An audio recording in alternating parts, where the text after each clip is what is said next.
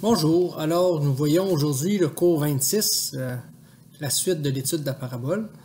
Alors au cours 25, on avait déjà vu l'esquisse avec le sommet, comment tracer un graphique avec esquisse sommet. Ensuite, on avait vu comment euh, tracer le graphique à l'aide euh, d'une table de valeurs. Et aujourd'hui, on va voir comment tracer le graphique complet, comment trouver la règle lorsqu'on a le graphique et comment faire une étude d'une fonction quadratique.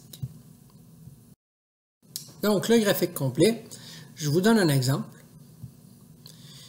Donc, trace f de x est égal à moins 2x2 plus 8x moins 7. Alors, dans le graphique complet, on doit retrouver le sommet, HK.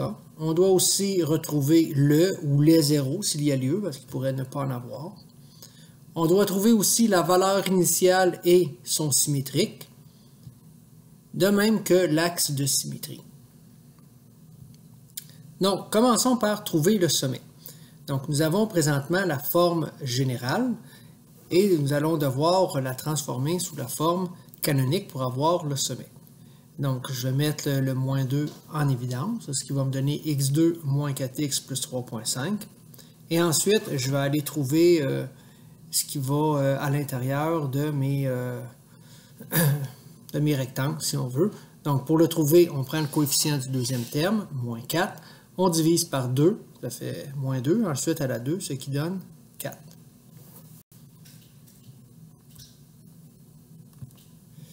« 4, 4. Ensuite, euh, ce qu'on va faire, on va avoir les trois premiers termes qui représentent un trinôme carré parfait. Donc ici, je vais avoir racine carrée du premier, le signe du deuxième et racine carrée du troisième. Ensuite, on va avoir les deux autres termes qui ensemble vont me donner le moins 0,5. Donc, il va nous rester finalement à distribuer le moins 2 à chacun des termes. C'est pour ça que ça va me donner moins 2 parenthèse x moins 2 à la 2, puis le moins 2 fois le moins 0,5 qui me donne le plus 1. Donc, on voit très bien ici le paramètre euh, A qui vaut moins 2, le paramètre H qui vaut 2, le paramètre K qui vaut 1. Donc, on a HK ici, 2,1, puis on va aller euh, le placer ici. Donc le sommet, 2,1. Maintenant, on va aller euh, trouver les zéros. Donc ce qu'on fait, je vais prendre ma, formule, ma, parabole sous la forme canonique, et je vais aller trouver les zéros en remplaçant y par 0, ou f de x par 0, c'est la même chose. Donc ce que je vais faire, c'est que je vais aller isoler la parenthèse ici à la 2. Donc, je vais commencer par faire moins 1 de chaque côté. Ensuite, je divise par moins 2 de chaque côté, ce qui va me donner une demi. Et pour enlever le à la 2, qui est ici, je vais prendre la racine carrée. Alors, ça donne racine carrée d'une demi, mais quand euh, on veut trouver les différentes valeurs possibles, on doit prendre la racine positive, mais aussi la racine négative. Donc, ça peut être racine carrée d'une demi ou moins racine carrée d'une demi. Alors, on poursuit.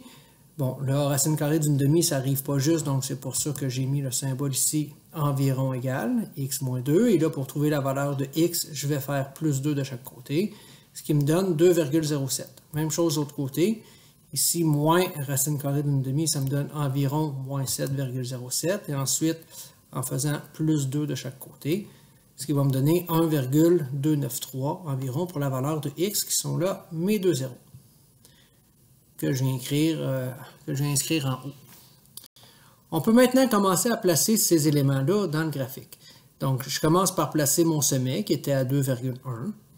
Je vais ensuite placer les deux zéros qui étaient à 1, euh, bon, ici je l'arrondis à 1,3 environ, puis l'autre zéro à 2,7. Donc, je les place ici. Donc, ce sont là mes deux zéros. Ensuite, je vais placer ma valeur initiale. Bon, comment je sais que c'est moins 7? Si vous regardez, j'ai la forme générale ici et mon paramètre C correspond à ma valeur initiale. Donc, ma valeur initiale va être moins 7. Ensuite, je peux tracer l'axe de symétrie. L'axe de symétrie sera toujours un axe vertical qui passe directement sur le sommet. Donc ici, le x du sommet, c'est 2. Donc, mon équation sera x est égal à 2. Donc, euh, j'ai mon axe de symétrie qui est là. Maintenant, ce qui me reste à trouver, le, seul élément qui manque, le sommet, bon, je l'ai placé, les zéros sont placés, l'axe de symétrie est placé, la valeur initiale est placée, mais je n'ai pas placé son symétrique. Alors, qu'est-ce que le symétrique par rapport à la valeur initiale? Ben, c'est le point qui va être exactement en face de la valeur initiale par rapport à l'axe de symétrie, parce qu'une parabole, c'est symétrique. Donc, si vous regardez ici, euh, ma valeur initiale par rapport à l'axe de symétrie, j'ai une distance horizontale de combien? De 2. Donc, je vais avoir la même distance pour le symétrique qui va être ici. Donc, son Y va être moins 7, la même chose, et son X, mais ça va être 2 plus 2 encore, qui fait 4. Donc, je vais avoir le point 4,7 pour le symétrique. Maintenant, il me reste juste à relier les points, ce qui va me donner la parabole recherchée. Donc, voilà pour le graphique complet. Maintenant, on va voir comment faire pour trouver la règle. Donc, lorsqu'on a un graphique, comment est-ce qu'on fait pour trouver la règle? Donc, il y a deux modèles qu'on peut utiliser. Il y a le modèle canonique qu'on va utiliser, bon, qui est le, modèle Y est égal à A parenthèse X moins H plus K, et on va l'utiliser quand, dans le graphique, on va nous donner un indice qui est le sommet.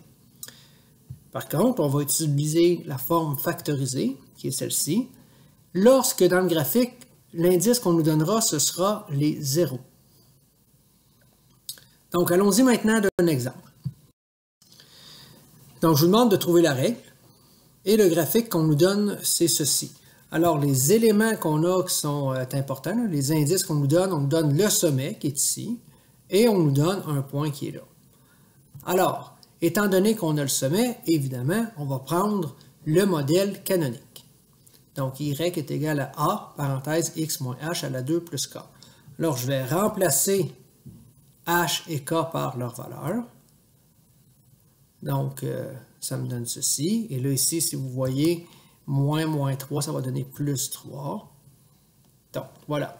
Maintenant, ce qu'il me reste à faire, il me reste à trouver la valeur du a qui est ici.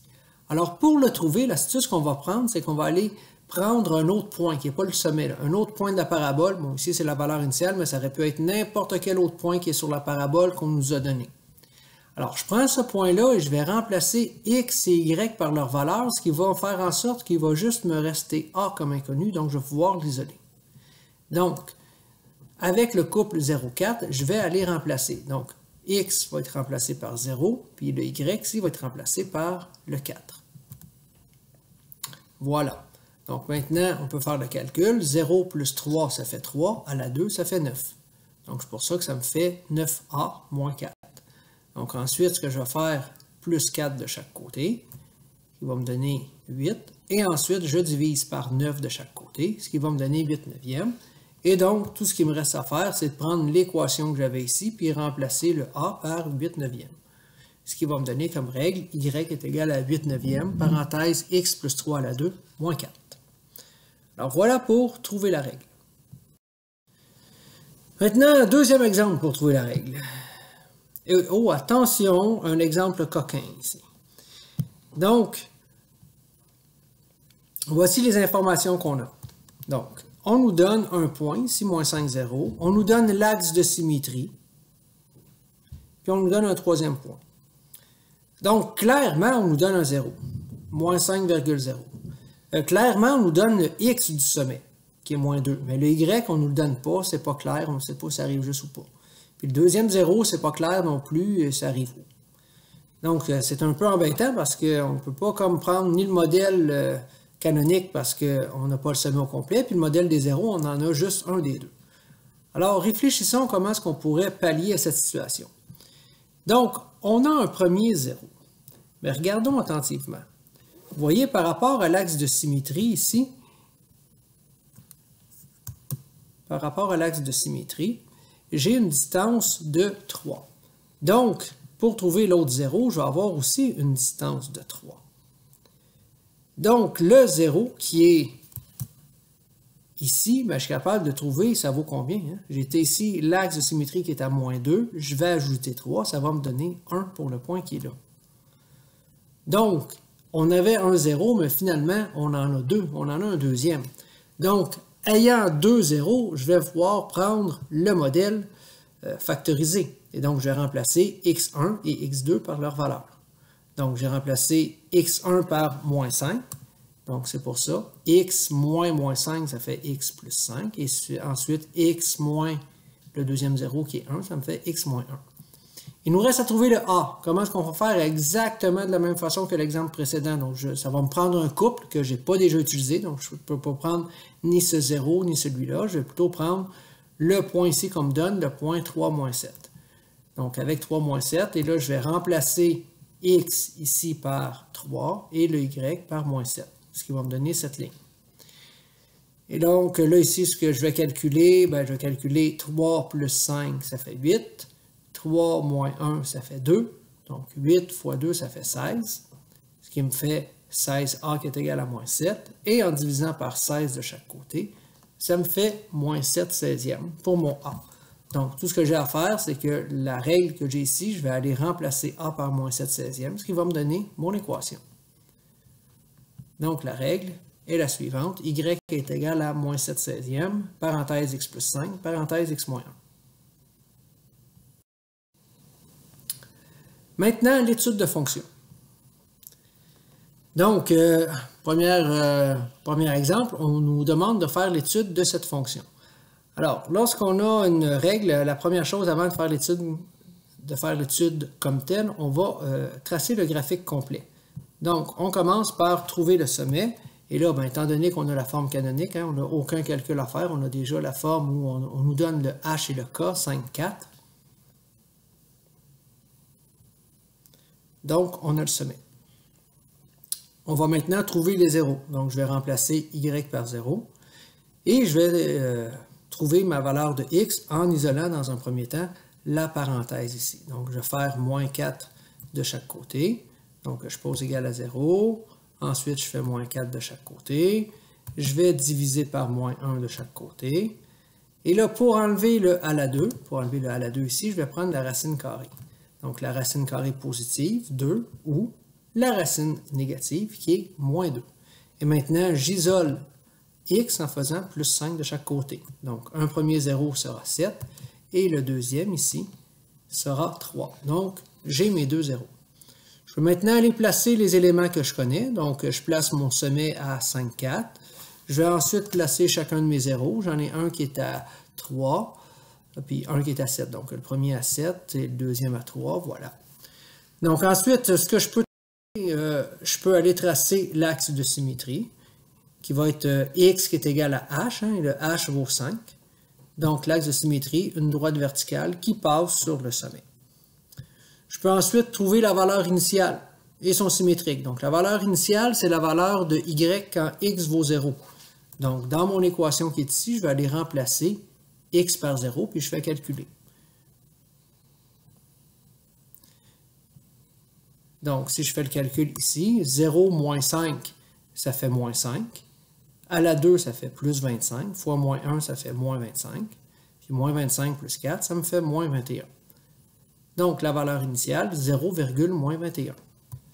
Et le symétrique, bien, si vous regardez, j'ai une distance de combien par rapport à l'axe? Une distance de 5. Donc, plus 5 l'autre côté, je vais être rendu à 10.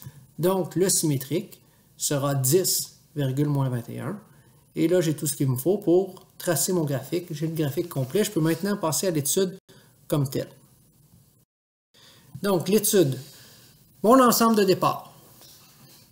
Donc, l'ensemble de départ et l'ensemble d'arrivée, lorsque j'ai un modèle purement théorique, ce sera toujours les nombres réels. C'est l'ensemble des nombres que j'aurais pu choisir pour faire cette fonction, donc aucune contrainte. Ce sont les réels. Maintenant, le domaine de la fonction. Encore une fois, pour une parabole, c'est un modèle théorique, le domaine, ce sera toujours les réels. J'ai aucune contrainte. Euh, tous les nombres vont être choisis pour la parabole. Donc, le domaine, c'est les réels. Ce sont les réels. Maintenant, pour le codomaine.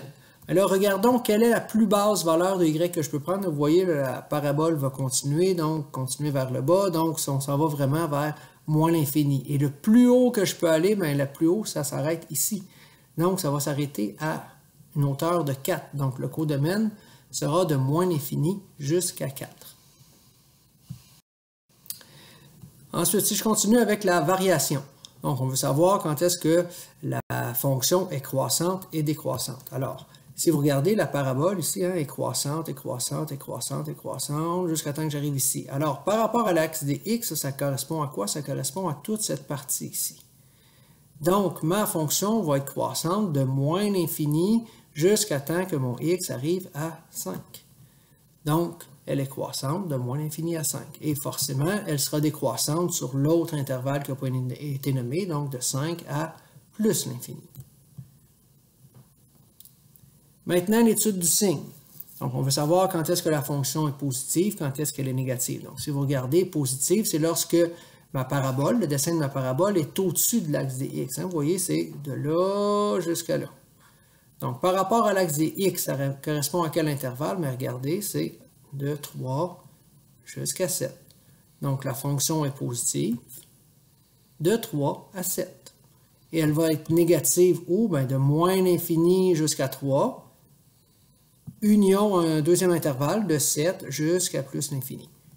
Donc, elle est négative de moins l'infini à 3, union de 7 à plus l'infini.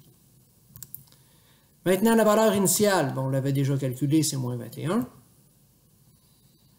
Les zéros, on les a trouvés déjà précédemment, c'était 3 et 7. Et tout ce qui nous reste à trouver, ce sont les extréments. Donc, euh, tout ce qu'on a ici dans une parabole, euh, dans un contexte théorique, ce sera toujours soit un maximum ou un minimum absolu. On n'a pas d'extrémum relatif. Et là, ce qu'on a, c'est un maximum absolu qui est à une hauteur de 5. Donc, maximum absolu, il vaut 4 et nous n'avons aucun autre extrémum. Alors voilà. Je vous remercie de votre attention et je vous souhaite une bonne continuation. Au revoir.